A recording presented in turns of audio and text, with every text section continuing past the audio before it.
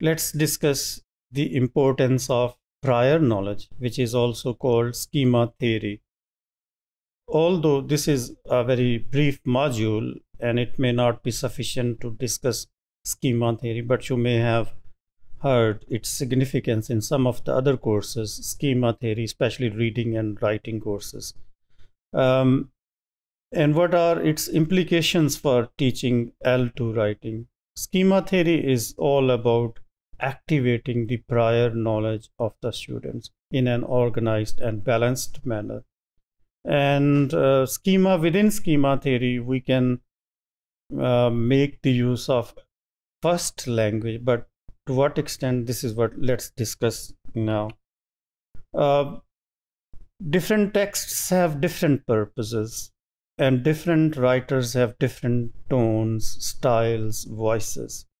So within genre theory, we have uh, writing for complaint, writing as an apology, or others. So there are categories. So these uh, formal categories are actually activated within prior knowledge, within schema theory. So this is called activating students' knowledge about a topic, knowledge of the grammar, knowledge of the mechanics of writing in, a, in an organized manner.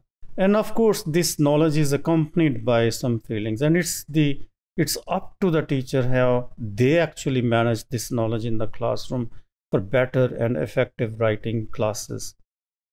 So activating the schema or the prior knowledge refers to both the content and form.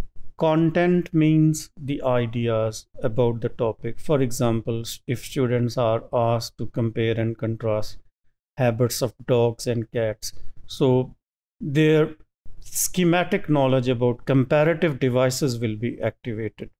They will be asked to uh, list number of phrases which offer comparison and contrast in, for example, as compared to on the other hand um, in much the similar way. So these are some of the devices which are there in the minds of the, um, the students and which makes us see students not empty vessels or empty slates. And uh, the notion given by uh, Chomsky so this knowledge of the content and form, form is the mechanics of writing, the syntactic rules, lexical items. So let's not accept our students, treat them as empty slates. Rather, they have something to share. They have something in their mind, which we as language teachers need to activate uh, when they write texts actually. What's the purpose of the text? So activating the prior knowledge has its implications for both language teacher and the students because it makes writing a pleasure experience a experience which lasts long.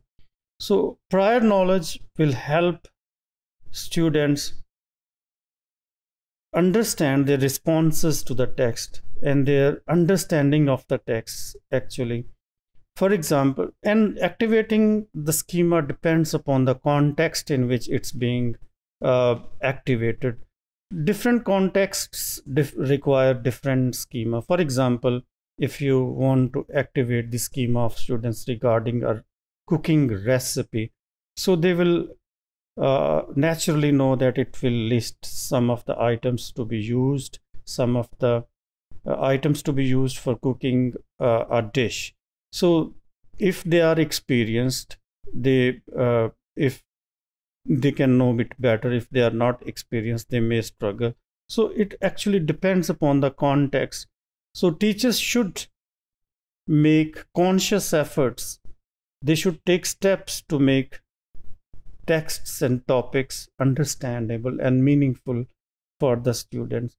And the purpose is not to uh, do the schema in one class and forget it in the second class or third class rather to continue it and make it a daily habit in almost every lesson. And that will expand their schema and that will make them self regulated learners or writers of english